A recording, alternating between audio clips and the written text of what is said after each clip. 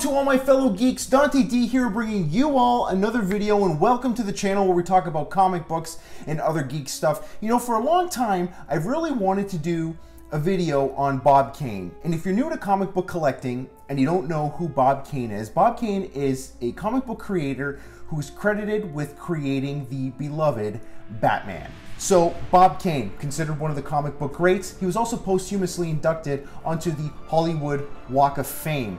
But all the things that Bob Kane did in his life, do they really merit all of that hype? Recently, I posted a survey under the YouTube community tab asking viewers if they thought that Bob Kane was to DC what Stan Lee was to Marvel. And I will share those results with you a little later on in the show. But first, I really kind of wanted to talk a little bit about Bob Kane and the type of person he was to answer the question was Bob Kane a genius or was he a phony? Now, before we get into this discussion, I just wanted to let you all know that this is not a video bashing Bob Kane. I actually have a lot of respect for Bob Kane for having a hand in the creation of my all time favorite superhero. I just thought this would make for a very interesting discussion. So, Bob Kane was born Robert Kahn in 1915 in New York City, and like a lot of comic book creators at the time, he was born to a poor family. Bob Kane, as a child, loved to doodle, and his father worked for a newspaper. One day, his father decided to bring some of his doodles to the newspaper, and uh, a lot of people at work thought that Bob Kane actually had a future in illustration. As a young man, Bob Kane contributed freelance material to Wow, What a Magazine, and he was making $5 a page. Well, one day, he decided that he wanted a raise to $10 a page, which his superiors denied, and he moved over to DC Comics and they agreed to give him $10 a page. However, they wanted another superhero type character to replicate the success of Superman. So Bob Kane said, I'll have it for you on Monday, or at least that's what he says. Now, here's where things get a little gray. You see, Bob Kane went through his life claiming that he pretty much single handedly created the Batman. However, Bob Kane's original conceptualization for the Batman is nothing like what he is today. The original Batman was not as dark. He actually wore a little bit of red. Uh, his face was covered with just like a simple mask. It wasn't covered like the uh, the Batman that we know today. It just really was did not look like Batman. As comic book creator Jim Steranko has said, it really was Bill Finger who put Batman on the map and made Batman the hero that we know and love today. Bill was as far as I'm concerned, the guy who put Batman on the map. It's a brilliant, brilliant writer. However, Bob Kane was a better businessman. He was more shrewd than anybody else working in that industry at the time, to the point where Bob Kane pretty much became the overseer of everything that went on in the Batman related books. There was a time when Bob Kane was not even really actively working on Batman. There were other people writing and drawing Batman stories, and he was just kind of overseeing and collecting what Steranko calls agent fees. And agent fees, I guess, at the time were about 10, 15%, but Bob Kane collected a whopping 50%. 50 percent. You want to work on my Batman book, 50 percent. You get to like this guy even more. The other thing that I found a little bit interesting about Bob Kane was that he actually managed to obtain some rights to the Batman character. Somehow, and I'm not exactly sure how, Kane got them to sign a contract whereby he got a piece of everything. Which, if you know a little bit about comic book history, you know at the time was very, very difficult to do. The greatest story of comic book creators getting screwed over their characters, I mean, is Jerry Siegel and Joe Shuster, the creators of Superman. I mean, they didn't have any of the rights for Superman, and to the point where they got up to the 70s and they were poor because they were getting nothing from the Superman character that they created. But that, I think, is a topic for another video. So I'm sure by now you're starting to see what type of person Bob Kane was. And there are probably some of you out there that are saying, well, hey, business is business, and he was the better businessman, so good for him. But was Bob Kane really all that he was cut out to be as a comic book creator and artist? Now, I do not personally know Bob Kane or his family, and I've never met the man. He passed away back in 1998, back when I was about 10 years old. So I'm going to be forming my opinion mostly based on what I've read, interviews, and what other comic book creators have had to say about him. So today I'm going to be using Stan Lee to help me answer the question of whether or not Bob Kane is all that he is cut out to be. So I'm putting Stan Lee and Bob Kane in the ring. Now, there are probably some of you out there thinking that this is really an unfair matchup. Stan Lee is much, much more accomplished than Bob Kane, but is he really? I mean, Bob Kane still did have a hand in creating one of the most popular superheroes on the planet. So I, I, really do think this is this is a, a fair matchup. And you know, Stan Lee and Bob Kane were also in the same age range, even though Bob Kane is just slightly older. So now with these two big names in the ring, let's see who will win, and let us see if this matchup can help us answer the question of whether or not Bob Kane is really worth all the hype. There was a great series from the early 90s called The Comic Book Greats, which was hosted by Stan Lee, in which he interviewed many of the biggest names in the comic book industry. And at the time, Stan Lee did an interview with Bob Kane, and I just think this footage here from the Bob Kane interview is just priceless. And it really shows a lot and reveals a lot about the type of person and the type of creator that Bob Kane was. So right off the bat, you'll notice that Bob Kane is a cocky son of a gun, and he really puts himself up on a pedestal. And what's even funnier is that Stan Lee feeds his ego and puts him on a pedestal even more, but he kind of does it in a joking way to kind of make fun of Bob Kane, and I don't know if Bob Kane is always aware of that. Okay. Bob, for the few people who come from another planet who may not know what you do, what is it that you're known for? You got to be kidding. You're rich, you you're famous. you're almost as famous as Bob Kane. It must be why Leonardo da Vinci and Bob Kane are almost always mentioned in the same breath. Have you noticed that? in this interview, you're going to see that Bob Kane makes little to no mention of Bill Finger as a co-creator of Batman. You can see he's taking all of the credit for himself. And I went home, and lo and behold, I thought about all my childhood heroes when I was a kid in my world of fantasy, such as Zorro, Douglas Fairbanks yeah, Sr. Yeah. So the three influences at that time were Zorro, Leonardo da Vinci, and the Bat. And on Monday, I came up with a very crude drawing of Batman, and I showed it to Whitney Ellsworth, and he said, that's terrific. And but the rest is history. Then Batman. Batman, it, it, seemed to take off at that time.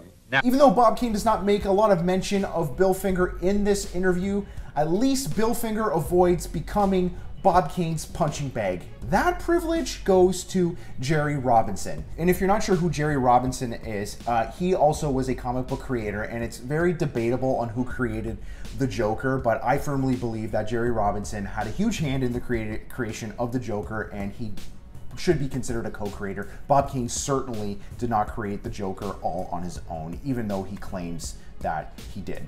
I had a ghost artist, which I'd like to refute now. His claim to fame is that he created the Joker, Jerry Robinson. Jerry Robinson, to his dying day, will say he created, and look, here's my answer to him. Had Jerry come to me first with the Joker playing card, the Batman, the Joker would have looked like this, and not like this. So apparently I was first and he well, came second. Well, since this isn't the court of law, I, I rest my case. I if there's one thing that I learned about Bob Kane from watching this interview, it's that you never ever ask him about Jerry Robinson. And even if you don't ask him about Jerry Robinson, he probably still will bring up the fact that Jerry Robinson has no right to claim that he had any hand in the creation of the Joker Bob Kane is the only one who created the Joker. Jerry Robinson had nothing to do with it. He's really funny. Stan Lee at this point tries to go toe to toe with Bob Kane and kind of defend Jerry a little bit. And Bob Kane even says, You're defending Jerry. But Stan Lee at that point's like, Oh no, I, I went there and I need to get out of this really fast. He, it's so funny. He tries to get off the topic of Jerry Robinson. Stan Lee even says, Okay, at this point now, I'm just trying to defend myself. Jerry also is a very dear friend of mine and a fine artist. Glad he's a friend know, of yours. And we'll probably do an interview with Jerry. no Jerry. friend too. of yours is a friend of mine. that goes but, um, automatically, um, particularly Jerry Robinson. But whoever created it, the point no, is. no, no, I just proved my case that Bill Finger came to me with the photograph, not whoever, Bob Kane and Okay. Bill Finger created the Joker. Now, what I mean is. We have definite proof, conclusive proof in my book. I am so sorry I asked you to You show see that, that? drawing. My, What I'm trying to say you're is. cupping that- out, Stan. You're protecting Jerry now. No, I'm not protecting I don't anybody. mind that. I'm protecting myself. He's a nice guy despite himself. Jerry was a nice guy despite himself. Ouch. Later on in the interview, Bob Kane brings up the Jerry Robinson topic yet again, and this time Stan Lee tries to desperately kibosh it. So, Jerry, if you're looking, Bob, do you remember, says Stan, not to change the subject? Not to change the subject. No, you totally intended to change the subject, Stan, and I really do not blame you. He's like, we need to get off this topic right now. The Jerry Robinson discussion really kind of put a bad taste in my mouth for Bob Kane, uh, but it really wasn't until the discussion of how artists should portray the Batman that really kind of revealed to me what type of person Bob Kane likely was, even though I don't personally know him. At one point in the interview, Bob Kane expressed his displeasure with how artists after him portrayed the Batman. He pretty much said that all artists should be drawing Batman like Bob Kane, and they should not put their original spin on Batman, which I think is absolutely ludicrous. Stan Lee even politely tells Bob Kane that no, artists all have different styles, and the only way that an artist can be the best artist he can be is to draw it in his own in his own way, his own his own style, right? and along the way, a lot of artists came along to do Batman, and it became their artwork and not mine. Why didn't they ghost my style? Because my style was so unique, they couldn't copy it. Now, what happens then is they, they, they change it into their own style, and it changes the original originator's style. I think what happens is if an artist draws in the style of another artist, of the man who originated the strip, let's Yeah. say, he's not drawing his best. It's not the best he can draw.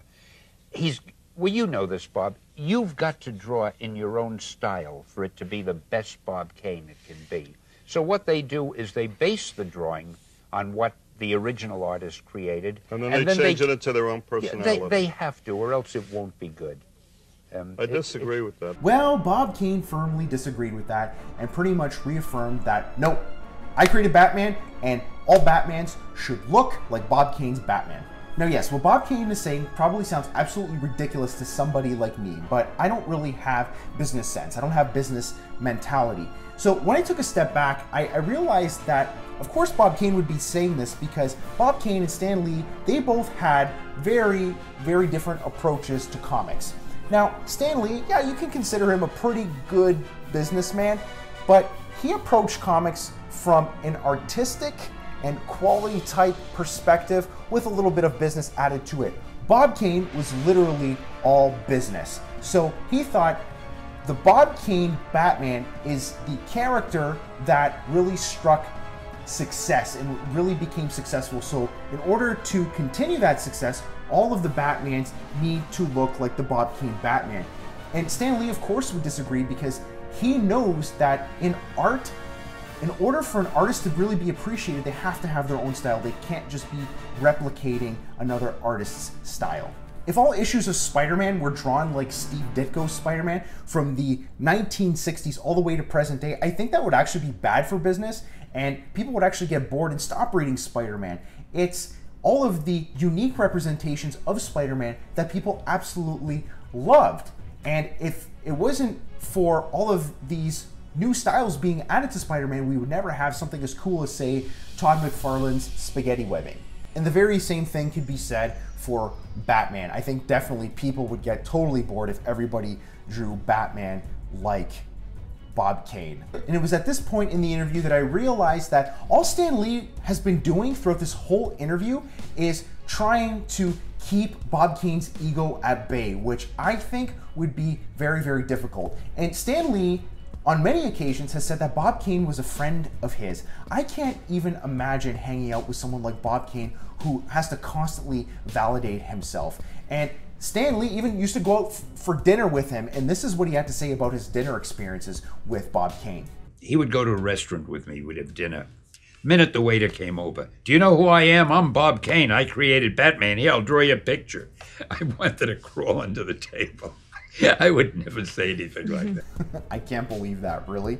And then, of course, Stan Lee had to, just for fun, ask Bob Kane to draw a picture of Spider Man. You want me to draw a character like Spider Man? I don't know why I'd waste my time drawing a character like Spider Man when I could draw the Batman. But since you asked, I'll draw Spider Man better than Ditko. Out like the Why don't, radiation. why don't you, why don't you draw it? No, because I'm not the guest. I don't know. It, And you'd complain. You'd say, "Oh, Stan, What the heck is this? You are an artist and you're drawing Spider Man like that. I'm not even an artist, and I think I could draw a better Spider Man than that. As a matter of fact, I'm sure all of you non artists out there who are watching can probably draw a better Spider Man than that. And I'd really like to see your Spider Mans that are better than Bob Kane. So I'm going to start a discussion on the community tab as soon as this video is posted, and I want you to draw a picture of your best Spider Man and post it in the discussion. So before we get to our verdict and we talk about who wins in the ring between Stan Lee and Bob Kane, and if Bob Kane is really worth all the hype, here are some other douchey things that Bob Kane said throughout this interview. I'd love to do women. I know, you this. relish that, huh? Yeah, Michelle Pfeiffer, mm, and she's really a pussy pussycat. Hear what the rumor is. What is Because the she rumor? hopes to get a drawing of her by Bob Kane. Now, listen, I'd like to give her more than a drawing. what can I tell you? I don't know what you can tell me, but I hope you won't. Not on camera, anyways. For stuff to come out of it, it isn't that easy, right? Well, uh, when you're a genius, it's easy. H I J K L. K comes before Lee, Kane. I precede you there. But- R S. Robert before Stan. R S. Bob, you're an. Oh, I I- think you. I think you just went I off have- the page. Do I get paid Okay. for this interview today? You didn't varnish the table for my appearance today. Come on. Do I get paid today? You know that is a sentence that you are not loath to throw around. Jack won't bother with you. I told him about Stan Lee. He said, Who? Yeah. And the reason I can draw and other people can't is I visualize it. My, my mind's eye is the projector. So between Stan Lee and Bob Kane, I think in the ring, figuratively speaking anyway, I think Stan Lee wins as the better comic book creator. Even though Stan Lee is a writer and Bob Kane is an artist and kind of writer too, I guess. I, I honestly think that Stan Lee is was just a better creator and a, and a better person overall. You see, Stan Lee did so much work to promote the characters in the Marvel Universe as a whole. It didn't matter if he created the characters or not. He was Marvel's biggest advocate. And he was not only a huge advocate for Marvel Comics, he was also a huge advocate for the comic book industry in general. I think if Bob Kane were doing a series on the comic book greats, he'd probably just do a 10 episode series about himself. He would not be interviewing any DC creators that were awesome, and he certainly would not be interviewing any Marvel. And I know there's been a little bit of creator drama with Stan Lee and his co-creators over the years. However, I think it's really says something about Stan Lee that he went throughout his life saying that he was a co-creator of many of the beloved characters in the Marvel universe. Bob Kane never referred to himself as a co-creator, even though he technically was a co-creator. He never gave any credit to anybody else except for himself. So let's answer the question, was Bob Kane a genius or was he a phony? I think the answer to that question is he was neither. Even though Bob Kane would consider himself a genius, I certainly would not consider him that because he did not think of the Batman character all on his own. Everything about Batman that we know and love today was pretty much came from contributions from other creators like Bill Finger, Jerry Robinson, so on and so forth. And I definitely would not consider Bob Kane a phony because at the end of the day, whether you liked Bob Kane or not, he was still a very accomplished man and he was a very, very shrewd businessman. And as probably some of you know out there, the best businessmen do not usually make friends that easily. So now I'd like to talk about the results of the poll that I talked about a little earlier. So under the community tab for this channel, I asked viewers if they thought that Bob Kane was to DC what Stan Lee was to Marvel. A couple hundred people voted and 10% voted yes, 58% voted no, and 31% voted don't know. So what this poll tells me is that The vast majority of comic book fans do not appear to be fooled by Bob Kane's shenanigans. For the 31% that voted don't know, I really hope that this video provided you with enough information to form an opinion about Bob Kane. And for those of you that voted yes, I really hope that the information in this video allowed you to learn something new about Bob Kane. So what do you all think about Bob Kane? I would love to hear from you in the comments. Do you think he deserves as much praise as someone like Stan Lee, or do you think that he's a little overhyped? Also, if you've personally met Bob Kane in your life, I would love, really love to hear from you because I would like to know what he was like on, on a personal basis. I mean, because, you know, I, you only could judge so much from, from interviews, right? So that about does it for a video today. I really hope you enjoyed it. If you liked this video, leave a like. If you disliked it, leave a dislike. Please consider subscribing and check out the channel for other videos on topics related to geek culture. Until next time, this is Dante D signing off. I will see you all in the next episode.